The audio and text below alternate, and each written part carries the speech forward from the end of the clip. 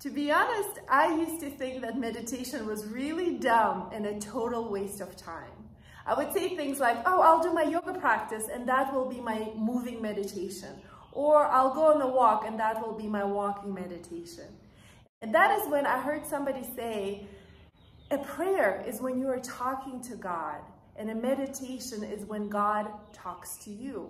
And from that moment on, my entire meditation practice transformed and I was able to open up to receive that divine guidance that resulted in so many miracles in my life.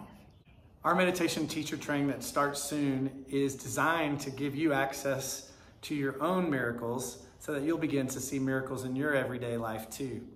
And there are also many practical benefits for everyday life that meditation, we know meditation and mindfulness give you access to.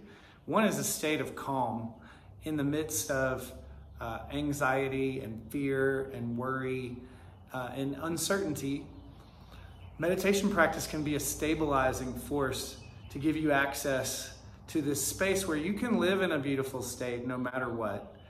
And we're going to teach you the tools through mantra meditation, through guided body scans, through visualizations, through chakra meditation, through the Brahma Viharas, which are very ancient uh, heart based meditations how to get access to something that can serve yourself and your family and others. We're going to teach you how to teach that, to share from your heart these meditation skills. So, first, we'll teach them to you, and then we'll teach you how to teach them. And together, we'll elevate humanity and give tools so that others can work through this period of uncertainty.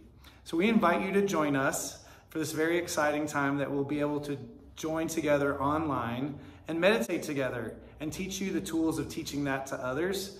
So join us very soon online meditation teacher training. We've been doing this for 24 years collectively and we want to share what we've learned with you. Expect a miracle. Thank you.